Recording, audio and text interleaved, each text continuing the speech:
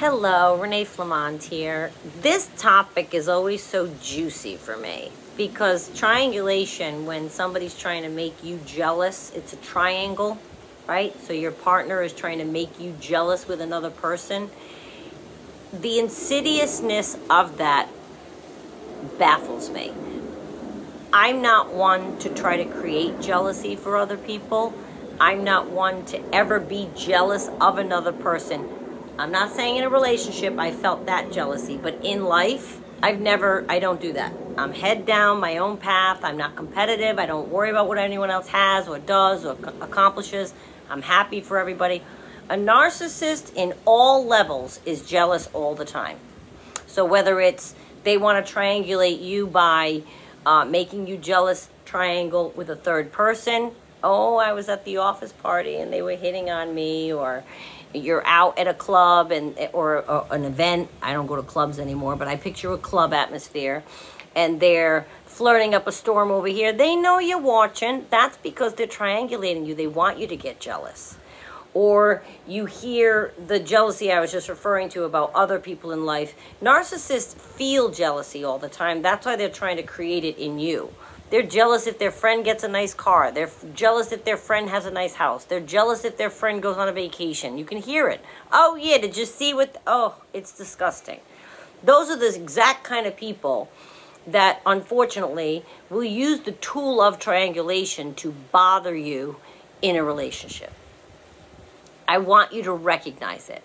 If you're coming back from something and you're in the car and your conversation is, Well, I saw you I saw you. No, you, you're crazy. I did not. And Wednesday's about gaslighting because that's the, their reaction will often be to gaslight you and tell you you're out of your mind. But if you are having that conversation and it's longer than two seconds, because if it's not that and they say, oh, no, no, no, no, she's an insurance agent, it could be true. If they're not a toxic person, it could be true. They're an I got her card. Come here. I want you to meet her. They're going to help us with our home insurance. I'm not saying those things can't happen and the person just happens to be beautiful or handsome and so you got jealous.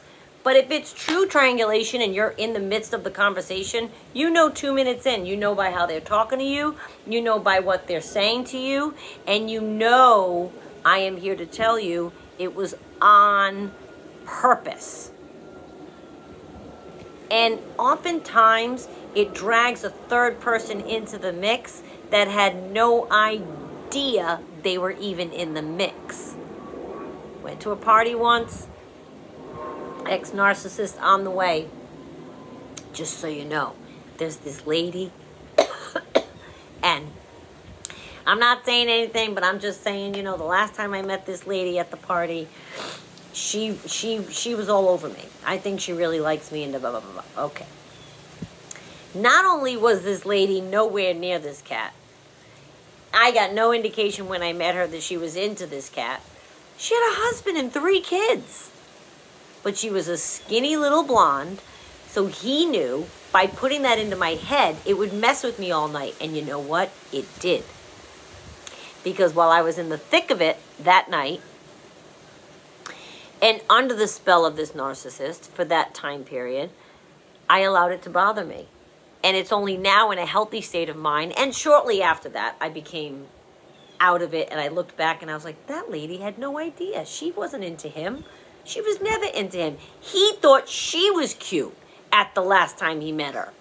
And he knew that saying that to me on the way would get me all fatutzed. And I was fatutzed. Don't allow them to triangulate you, and I want you to recognize it when they're doing it. They're doing it on purpose. And oftentimes we're mad at that third person in the triangle. And in the example I just told you, that lady, had, luckily I wasn't mad. I was like, hi, nice to meet you. And nothing awry happened.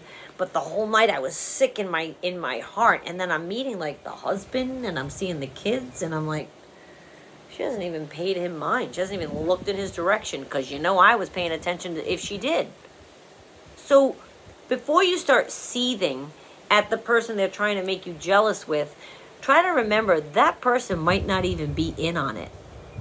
And the narcissist will always try to make you jealous because they feel jealousy for everybody else.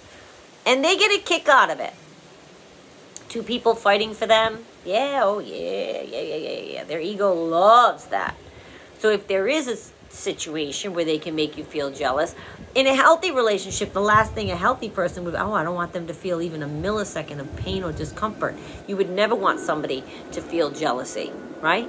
So even if it is a healthy example, like it's just an insurance agent, a healthy-minded person might say, "Let me get my girlfriend or my wife, and we, you can talk to us both about it to make sure that there's no impropriety, um, impropriety uh, uh, um, envisioned, and there's no uncomfortable feelings." A narcissist is going to take every opportunity they can to make you feel jealousy. If it's in the workplace, they might triangulate you by making you think they went to lunch with the boss or they went golfing with the boss or they had words with the boss that were favorable and you weren't in on the meeting. And well, you know, they'll often have private jokes with people around you at your expense. Say you're in a room full of people and it's family and friends, and you have that one bad egg.